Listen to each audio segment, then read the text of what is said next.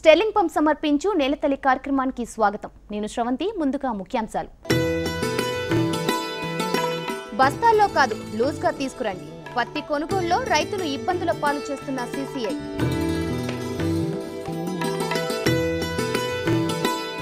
దినదినాభివృద్ధి చెందుతున్న విశాఖ కాఫీ తోటలు. ప్రభుత్వ ప్రోత్సాహకాలతో సాగుకు మొగ్గు చూపుతున్న రైతులు.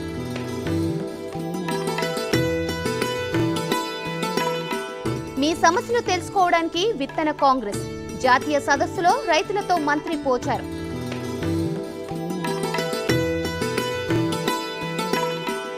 పంటకు ముందే ధర నిర్ణయించాలి. మౌలిక సదుపాయాలు కల్పించాలన్న విత్తన రైతులు.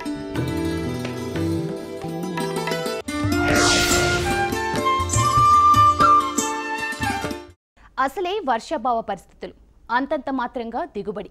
దీనికి తోడు సీసీఐ నిబంధనలు. వెరసి పత్తి రైతులు నానా పాట్లు పడుతున్నారు. పండించిన పంటకు గిట్టుబాటు ధర కూడా రాకపోవడంతో అన్నదాతలు లబోదిబోమంటున్నారు. పత్తిని బస్తాల్లో కాదు లూజ్గా తీసుకురండి అని సీసీఐ అంటుంటే ప్రభుత్వం ఇచ్చే మద్దతు ధర ఏమాత్రం గిట్టుబాటు కాదని రైతు సంఘాల నాయకులు ఆరోపిస్తున్నారు.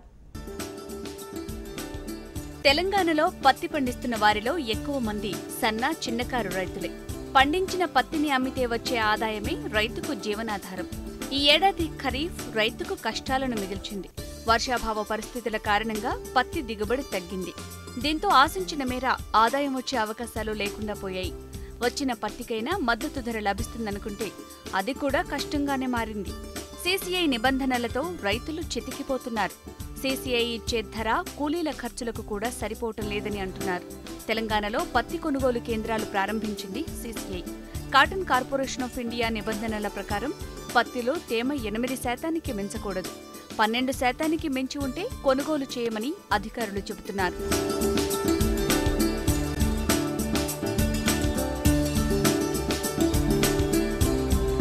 అన్నింటికీ మించి లూజ్ పత్తి తీసుకురావాలన్న సీసీఐ నిబంధన రైతుని ఇబ్బందులు పాలు చేస్తోంది. గన్ని బ్యాగుల్లో పత్తిని మార్కెట్కు తరలించడం రైతుకు అలవాటు.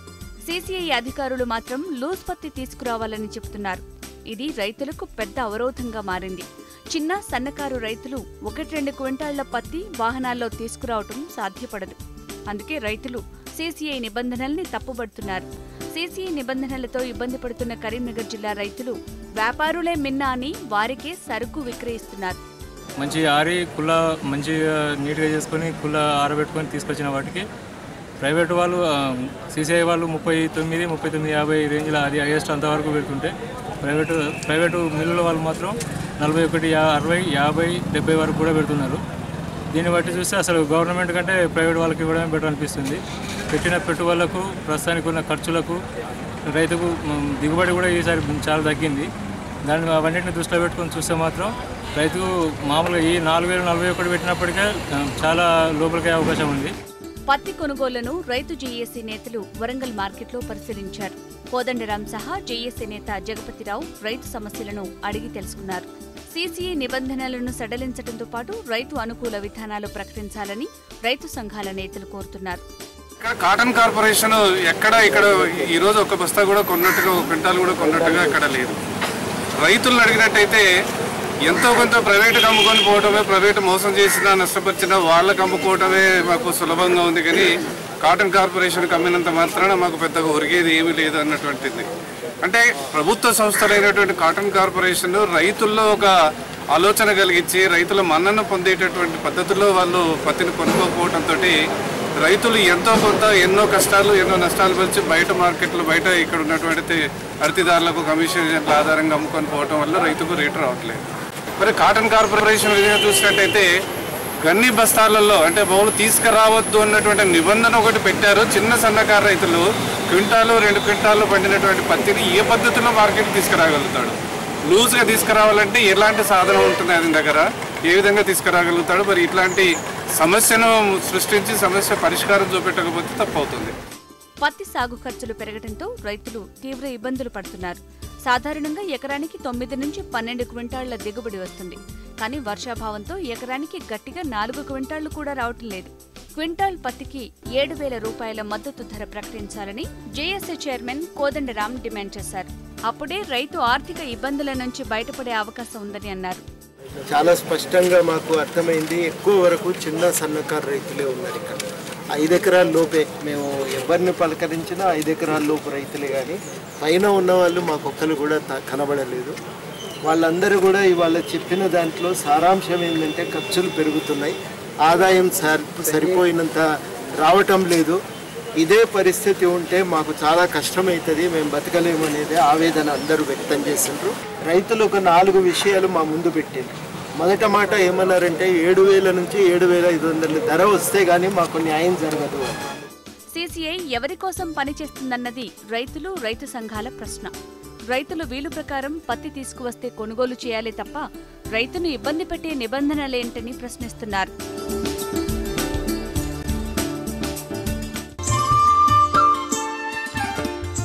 స్టెల్లింగ్ పంప్ సమర్పించు నేలతల్లి కార్యక్రమంలో చిన్న విరామం.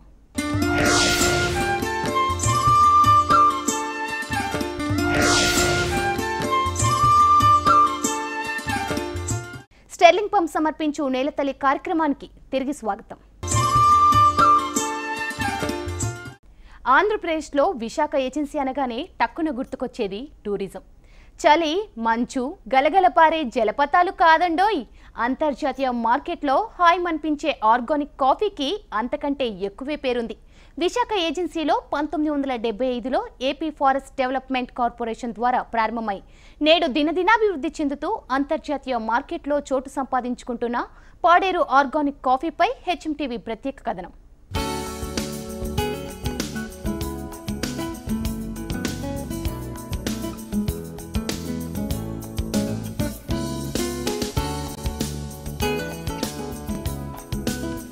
విశాఖ జిల్లా పాడేరు రెవెన్యూ డివిజన్లో పాడేరు చింతపల్లి అరకు వ్యాలీ ప్రధాన కేంద్రాలుగా కాఫీ సాగవుతోంది.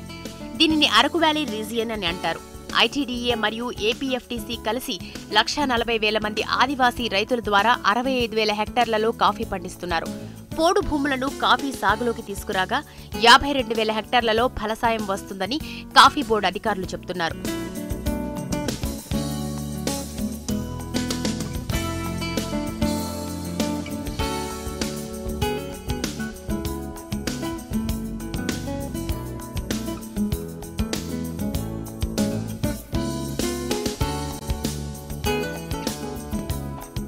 వందల డెబ్బై ఐదులో పాడేరు మినుములూరు చింతపల్లి డివిజన్లో గొందపాకలు వంటి ప్రాంతాల్లో ప్రారంభమై రాష్ట్ర ప్రభుత్వం ఐటీడీఏల ప్రోత్సాహంతో దినదినాభివృద్ధి చెందుతూ వస్తోంది. ఆదివాసీలు కాఫీ సాగుపై మొగ్గు చూపుతుండటంతో ప్రభుత్వం కూడా రాయితీలు ప్రకటించి ప్రోత్సహిస్తోంది. నీడలో మొక్కలు పెంచడం మొక్కలు నాటడం మొదలుకొని ఫలసాయం వచ్చే వరకు ప్రోత్సహిస్తున్నామని కాఫీ బోర్డు అధికారులు చెబుతున్నారు. పాడేరు కాఫీ పూర్తిగా సేంద్రియ పద్ధతుల్లో పండించడంతో అంతర్జాతీయ మార్కెట్లో మంచి గిరాకీ ఉంది. ఆస్ట్రేలియా బ్రెజిల్ థాయిలాండ్ వంటి దేశాలకు మన్యం కాఫీ ఎగుమతవుతోంది. మార్కెట్ను దృష్టిలో ఉంచుకుని అంతర్జాతీయ నాణ్యతా ప్రమాణాలు ఉత్పత్తి పెంచడానికి సిమెంట్ కల్లాలు పల్పింగ్ యంత్రాలు సబ్సిడీ ద్వారా అందిస్తున్నారు. ఏ పంట పండించాలన్నా నాణ్యత ముఖ్యం. నాణ్యమైన పంట ఉత్పత్తి కోసం అధికారులు రైతులను ప్రోత్సహిస్తున్నారు. ఫలితంగా రైతుల్లో నాణ్యత పట్ల శ్రద్ధ పెరుగుతోంది. ఉత్పత్తి పెంచడం నాణ్యత పెంచడంపైనే దృష్టి సారించామని చెప్తున్న అధికారులు మున్ముందు మరింత గుర్తింపు రావడానికి అవకాశం ఉందని చెప్తున్నారు. కాఫీతో పాటు మిరియాలు కూడా వేస్తారు. మిరియాలు కూడా చక్కగా కాఫీలో పెరిగే పంట. దానివల్ల కూడా ఆర్థికంగా చాలా లాభం చేకూరుతుంది దానికోసం ప్రభుత్వం నుంచి సహకార సహకారాలు ఉన్నాయి. ఇది ఒకటే కాకుండా మనకి ఏ పంట అయినా పండించాలంటే నాణ్యత ముఖ్యం. డబ్బు ఎక్కువ రావాలంటే. మన మార్కెట్లో అమ్ముకోవాలంటే నాణ్యత ఉండాలి ఏ పంటకైనా సరే. సో నాణ్యత పెంచే విధంగా ప్రభుత్వం కాఫీ బోర్డు ఏం చేస్తుందంటే మనకి లోకల్గా స్టేట్ గవర్నమెంట్ ఉన్న ఐటీడీఏ సహకారంతో వీళ్ళిద్దరూ కలిసి జాయింట్గా మనకి పల్పర్లు. అంటే మనకి కాఫీ పళ్ళు పోసిన తర్వాత ఒక మంచి విధంగా పార్చ్మెంట్ కాఫీ తయారు చేయడం కోసం పల్పర్లని యంత్రాలు అవసరం అవుతాయి వాటిని సబ్సిడీ పైన అందజేస్తుంది కాఫీ బోర్డు ఐటీడీఏ కలిసి. అలాగే ఈ కాఫీ పంట ఆరబెట్టడానికి మనం మట్టి నేలపైన వాడితే ఏమవుతుందంటే నాణ్యత పాడవుతుంది. దానికి ఉపయోగకరంగా ఉండటం కోసం కాఫీ బోర్డు ఏం చేస్తుందంటే సిమెంట్ కళ్ళాలు కట్టించుకునే విధంగా రైతుల్ని ప్రోత్సహిస్తోంది. డీజిల్ల వారీగా రైతులను ఏర్పాటు చేసి పోటీలు నిర్వహించి బహుమతులిస్తున్నారు. గతంలో ఏపీఎఫ్టీసీకి చెందిన పసువాడ గొందిపాకలు లంబసింగి ఎస్టేట్లకు ఏడు సార్లు ఉత్తమ ప్రాంతీయ అవార్డులు వచ్చాయి. ఈ ఏడు పాడేరు అరకు వ్యాలీ సబ్ రీజియన్లలో మినుములూరు అనంతగిరి ఎస్టేట్లకు ఉత్తమ ప్రాంత అవార్డులు వచ్చాయి. ప్రభుత్వం ఇస్తున్న ప్రోత్సాహకాలతో కొత్త రైతులు కాఫీ సాగుకు మొగ్గు చూపుతున్నారు.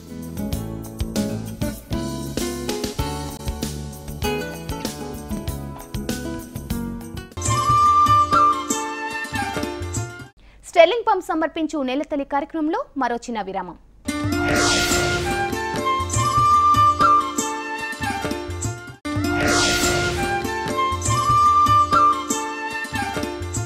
స్టెర్లింగ్ పంప్ సమర్పించు నెలతల్లి కార్యక్రమానికి తిరిగి స్వాగతం.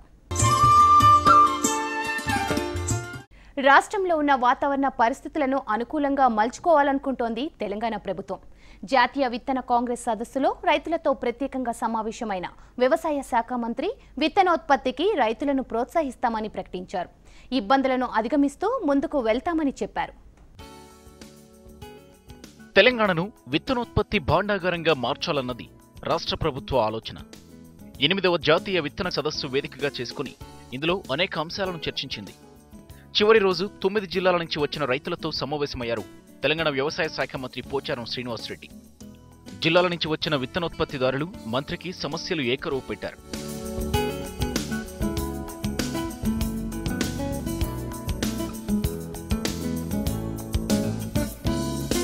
విత్తనోత్పత్తి పేరుతో కంపెనీలు కోట్ల రూపాయల వ్యాపారం చేస్తున్నాయి.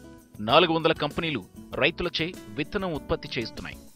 అయితే విత్తనం కొనుగోలు చేసేప్పుడు ఒకలా విక్రయించేటప్పుడు మరోలా వ్యవహరిస్తున్నాయని రైతులు ఆరోపిస్తున్నారు. తాలు తీసుకోం తడిసినా తీసుకోం అంటూ కంపెనీలు కఠిన నిబంధనలు పెడుతున్నాయన్నది రైతుల ఆవేదన. ముఖ్యంగా కొత్త వంగడాలు రావాలన్నది రైతుల ఆకాంక్ష. విత్తనోత్పత్తికి నేలలు వాతావరణం అనుకూలంగా ఉన్నా దిగుబడి పెరగడం లేదు. తెగుళ్ళను తట్టుకునే రకాలను అందుబాటులోకి తీసుకురావడంతో పాటు ఉపాధి హామీ పథకాన్ని వ్యవసాయానికి అనుసంధానం చేయాలని రైతులు కోరుతున్నారు.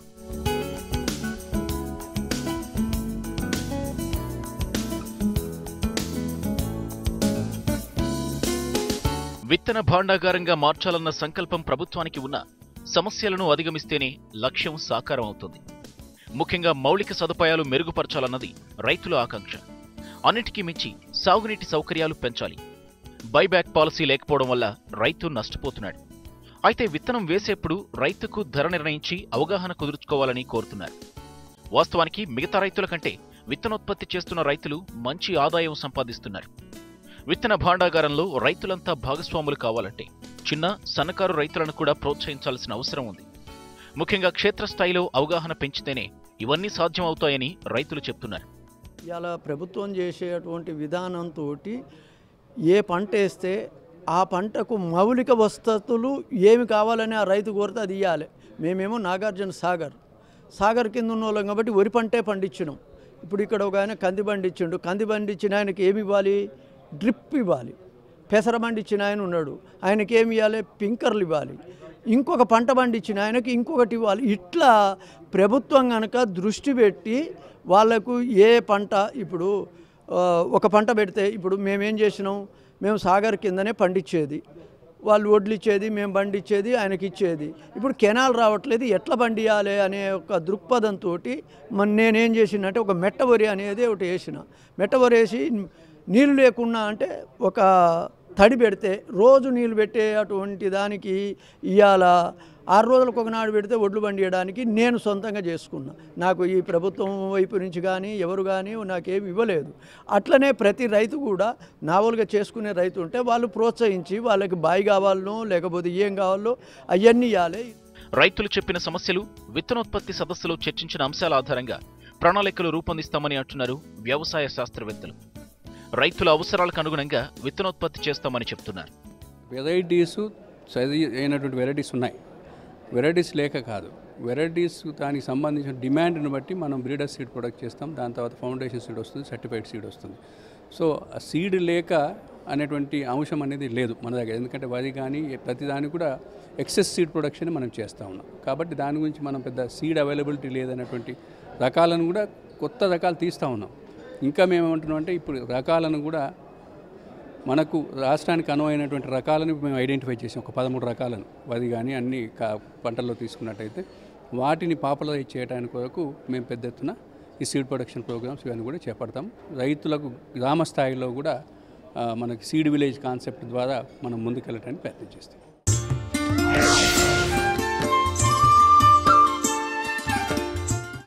విత్తనోత్పత్తి చేస్తున్న కంపెనీలన్నీ కార్పొరేట్ కంపెనీలుగా ఎదుగుతుంటాయి రైతు ఆర్థిక పరిస్థితుల్లో మాత్రం ఎదుగు బొదుగోలేదు. స్థానికంగా వేలు పలికే విత్తనాలను విదేశాల్లో కంపెనీలు కోట్లకు విక్రయిస్తున్నాయి. రావాల్సిన స్థాయిలో ఆదాయం వచ్చినప్పుడే విత్తనోత్పత్తికి రైతు మొగ్గు చూపే అవకాశం ఉంది. గతంలో కొంతమంది రైతులు విత్తనోత్పత్తి చేసి మానేశారు. కంపెనీ రైతు మధ్య సరైన ఒప్పందం లేకపోవడం వల్ల కొన్ని సందర్భాల్లో రైతు నష్టపోతున్నాడు. అందుకే ముందుగానే అవగాహన ఒప్పందం అవసరమని అంటున్నారు రైతులు. మిగతా పంటల మాదిరే విత్తనోత్పత్తి రైతు కూడా అయ్యే ఖర్చుపై యాభై శాతం కలిపి ధర ఇవ్వాలని రైతులు కోరుతున్నారు. విత్తనోత్పత్తి కావాలంటే సరైన విత్తనాలు మాకు ఇవ్వాలి. ప్లస్ మాకు ఆర్థికంగా కూడా కొన్ని ఇబ్బంది లేకుండా లోన్స్ విషయంలో కానీ ఏదంటే అది పోతే అది పోయి మనం బ్యాంకులో చుట్టూ తిరిగేటట్టు ఉండొద్దు. నా పాస్బుక్ పట్టుకొని పోతే నాకు లోన్ ఇచ్చేటట్టు ఉండాలి ఒక ఒకటే రోజులో. దానిలో లైన్లు కట్టి ఇటురా రేపురా ఇవాళ నేను పోతా. మీ ఇలా కాదండి మీ డేట్ ఇంకో పది రోజులకు రండి. మీ పది రోజు పదో నాడు మీకు ఇస్తాము అంటే మేము అదే పదో రోజున పోతాం. అప్పుడు ఫార్మర్కు అక్కడ పని ఇబ్బంది కాదు. ఇక్కడ పని చేసుకోవాలన్నా పోయి బ్యాంకులో చుట్టూ తిరగాలన్నా కూడా అర్థం కాకుంటుంది కాబట్టి అట్లా చేయకుంటుంటే బాగుంటుందని నేను అనుకుంటున్నాను. ఇప్పుడు మేము పంట వేస్తే గవర్నమెంట్ ఏమి ఇస్తుంది లెక్కలన్నీ కలిసి ఒక మినిమం సపోర్ట్ ప్రైస్ నిర్ణయిస్తుంది. అట్లాగే కంపెనీ కూడా ఆ విధంగా లెక్కలు కట్టాలి. కట్టినప్పుడే మాకు రైతుకు లాభం జరుగుతుంది. మాకు ఈడేం జరుగుతుంది మాకు కేవలం ఖర్చులు ఇచ్చి ఒక రెండు పర్సెంట్ ప్రాఫిట్ చూపెడుతున్నారు. కానీ మా మేము ఇచ్చిన గింజల మీద వాళ్ళకు హండ్రెడ్ నుండి టూ హండ్రెడ్ పర్సెంట్ ప్రాఫిట్స్ వస్తున్నాయి. ఇగో ఈ తారతమ్యాలను అనాలిసిస్ చేసి రైతుకు లాభం కట్టే విధంగా చేయాలి. మాకు మమ్మల్ని అడిగితే చెప్తాము. మాకెంత కాస్ట్ పడుతుంది మాకెంత ధర నిర్ణయం కావాలి జనరల్గా మేము ఎందుకు విత్తనోత్పత్తికి మొగ్గు చూపుతున్నామంటే ఇది గ్యారంటీగా నా రేటు ఇంత ఉన్నది నేను ఇంత పెట్టుబడి పెడితే ఇంత పైసలు వస్తుంది. దీంట్లో గ్యారంటీ ఉన్నది బైబ్యాక్ ఉన్నది కాబట్టి మొగ్గు చూపెడుతున్నాము. కానీ దీన్ని గాంక చట్టరూపంగా తెస్తే డెఫినెట్గా రైతుకు లాభం జరుగుతాయి విత్తనోత్పత్తి ఇచ్చే కంపెనీ డైరెక్ట్గా రైతుతో సంబంధం పెట్టుకుంటలేడు. మధ్య ఒక దళారు ఆర్గనైజర్ అని పేరు పెట్టి ఆర్గనైజర్ను మధ్యలో పెట్టి ఆ ఆర్గనైజర్తో మాత్రమే మాకు సంబంధాలు పెట్టిస్తాడు. దీనివల్ల నష్టాలు జరుగుతున్నాయి. ఒకవేళ కనుక గవర్నమెంట్ ఆఫ్ తెలంగాణ ఒక చట్టం తీసుకురావాలి. విత్తనోత్పత్తులకు ఒక లా తీసుకొస్తే ఏదన్నా లుసుకులు కనుక డీవియేట్ అయితే పనిష్మెంట్ ఉండాలి. విత్తనోత్పత్తి పేరుతో కోట్ల రూపాయలు సంపాదిస్తున్న కంపెనీలు రైతుకు సరైన ఆదాయం ఇవ్వలేకపోతున్నాయి. రైతు నష్టపోయినప్పుడు చేతులెత్తేస్తున్నాయి. ఈ విషయంలో రైతు సంఘాలు ప్రభుత్వాన్ని కంపెనీలను తప్పుబడుతున్నాయి. చాలా సందర్భాల్లో రైతు నష్టపోతున్నా ప్రభుత్వం కూడా పట్టించుకోవడం లేదని ఆరోపిస్తున్నాయి. విత్తన సదస్సులో కంపెనీల ప్రమేయం ఎందుకని ప్రశ్నిస్తున్నాయి. ప్రభుత్వ సంస్థలు సదస్సు నిర్వహించి ఇక్కడి వనరులను కంపెనీలకు కాకుండా రైతుకు ఆదాయ వనరుగా మార్చాలని కోరుతున్నాయి. అనేక జిల్లాల్లో వరంగల్ తర్వాత ఖమ్మం మహబూబ్ నగరు ఈ జిల్లాలన్నింటిలో కూడా విత్తనాలు ఉత్పత్తి చేసేటువంటి రైతులు నష్టపోయినప్పుడు మేము డిపార్ట్మెంట్ దగ్గరికి కూడా పోయి ఏది కమిషనరు తర్వాత ప్రిన్సిపల్ సెక్రటరీ దగ్గరికి వెళ్ళి కూడా ఇట్లా నష్టపోతున్నారు రైతులు. వారి గురించి ఆలోచించండి పట్టించుకోండి అంటే మా పరిధిలో లేదు అని కమిషనర్ కూడా డైరెక్ట్గా చెప్పినాడు. మా మా పరిధిలోకి రాదు మేమేమి చేయలేము. అది కంపెనీలు రైతులు వాళ్ళు అగ్రిమెంట్ చేసుకొని వాళ్ళ అండర్స్టాండింగ్లో పోతున్నారు. కాబట్టి దానికేం మాకేం సంబంధం లేదని చెప్పి గవర్నమెంటే ప్రత్యేకంగా చెప్పి రైతులు నష్టపోతున్న సందర్భంలో కూడా మీరు పట్టించుకోకుండా మేమేదో ఇప్పుడు రైతులకు బాగా చేస్తామని చెప్పి కనీసం దానికి నియమ నియమ నిబంధనలు ఏంటి? రైతులు ఎట్లా ఫాలో కావాలి? కంపెనీలు ఎట్లా ఫాలో కావాలనేటువంటి నియమ నిబంధనలే లేవు. అలాంటివి ఏమీ లేకుండా ఇప్పుడు ఇంప్లిమెంట్ చేయకుండా మేమేదో అంత అద్దంలో చూపించి బాగా చేస్తామంటే ఎట్లా కరెక్ట్ అది? కనీసం ఈరోజు మన ప్రభుత్వ రంగంలో విత్తనాలు ఉత్పత్తి చేసే దానికోసం మేము పూనుకుంటున్నాం మేము ఇస్తాం లేదా రైతాంగం ఎవరైతే విత్తనాలు ఉత్పత్తి చేసేటువంటి రైతులు ఉన్నారో వాళ్ళు కూడా ఈరోజు ఆత్మహత్యలు చేసుకుంటున్నారు మిగతా రైతులతో పాటు. మహబూబ్ నగర్ జిల్లా గద్వాల ప్రాంతంలో ఇప్పటికే పద్దెనిమిది మంది రైతులు ఆత్మహత్యలు చేసుకున్నారు. గత రెండు వరుస కరువుల వల్ల సీడ్ ఉత్పత్తి చేస్తున్నటువంటి రైతులు. మిగతా రైతులు కదా పత్తి రైతులు చేసుకుంటున్నారు. కానీ ఈరోజు సీడ్ ఉత్పత్తి చేసేటువంటి రైతులు ఆత్మహత్యలు జరుగుతున్నాయి. అక్కడ రెండు సంవత్సరాలుగా నష్టపోతున్నారు రైతులు. విత్తనోత్పత్తి చేసే రైతు సమస్యలేంటో అడిగి తెలుసుకున్నారు మంత్రి పోచారు. విత్తనం ఉత్పత్తి చేసే రైతు ఏ దశలోనూ బాధపడకూడదని అన్నారు. ప్రభుత్వ సంస్థలచే విత్తనం కొనుగోలు చేస్తామని ప్రకటించారు. విత్తనం ఉత్పత్తి చేశాక కంపెనీలు నేరుగా రైతు నుంచి కొనుగోలు చేయాలని సూచించారు. పంట వేసే ముందే ధర నిర్ణయించాలి అధికారులు క్షేత్రస్థాయిలో పర్యటించి సలహాలిచ్చేలా చర్యలు తీసుకుంటామని మంత్రి రైతులకు హామీ ఇచ్చారు. సీడ్ పండించేటువంటి రైతు ఏ పరిస్థితిలో బాధపడకుండా ఇబ్బంది పడకుండా మీరు ఇచ్చినటువంటి సూచనలు సలహాలను కూడా అన్నిటి కూడా క్రోడీకరించుకొని మా అధికారులతోటి సీడి కంపెనీ వాళ్ళతోటి మా యొక్క సంస్థలతోటి కూడా మాట్లాడడం జరుగుతుంది. రాష్ట్రాన్ని విత్తన ఉత్పత్తి భాండారంగా తయారు చేయడం అనేది మనందరి సంకల్పం.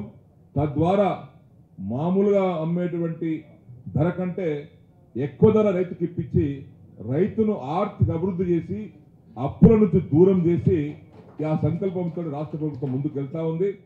తెలంగాణ నేలలు వాతావరణం విత్తనోత్పత్తికి ఎంతో అనుకూలం. ఇది ఒక పెద్ద ఆదాయ వనరుగా ఉంది తెలంగాణ రైతులకు ప్రజలకు. అది ఆదాయ మార్గంగా కూడా మారాల్సిన అవసరం ఉంది. అయితే విత్తనోత్పత్తి పేరుతో కోట్ల రూపాయలు సంపాదిస్తున్న కంపెనీలు రైతు కనీసం వేలల్లో కూడా ఆదాయం సంపాదించలేకపోతున్నాయి. ఒక కదలికైతే మొదలైంది. ఇది రైతుకు పెద్ద ఆదాయ వనరుగా మారాల్సిన అవసరం ఉంది. ఆ దిశగా చర్యలు చేపట్టాల్సిన అవసరం ఉంది. కెమెరా పర్సన్ మహేష్తో సతీష్ కుమార్ హెచ్ఎం టీవీ హైదరాబాద్.